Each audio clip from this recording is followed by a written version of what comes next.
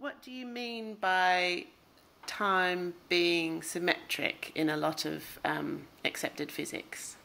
Yes.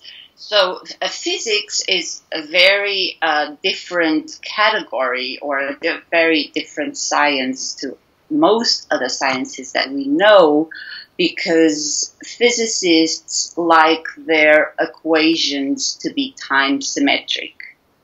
And this means that um, the flow of time doesn't really exist in the equations. In other sciences like uh, chemistry, biology, paleontology, climatology, all the equations always flow in one direction because a human being never grows young. Uh, the, the, the, paleontologists discover a fossil, and it's all it was. It's clearly from the past. It's not from the future. Um, the climatology, all, all the, the, time is very present there. You can never evolve back because it's so complex to predict the climate that uh, the flow of time is very important for them. But physics, physicists like all the equations to be time symmetric.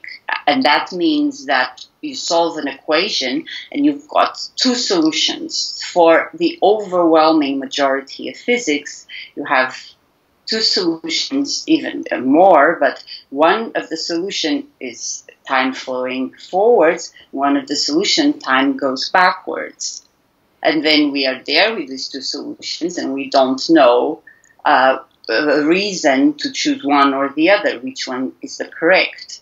And we look around us and we see uh, time is moving forward, and we say, okay, that the time, the solution where time moves backwards doesn't exist in nature, so we discard that.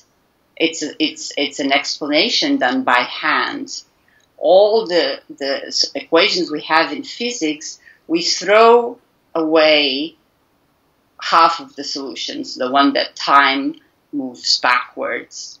And we say that those solutions don't exist. And there's, there is an explanation for it, but it's a very complicated and not very convincing.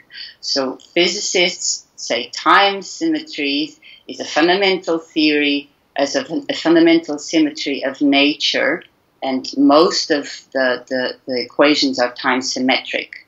And the, the, the, the choice which solution to, to choose is done by hand and has no immediate explanation.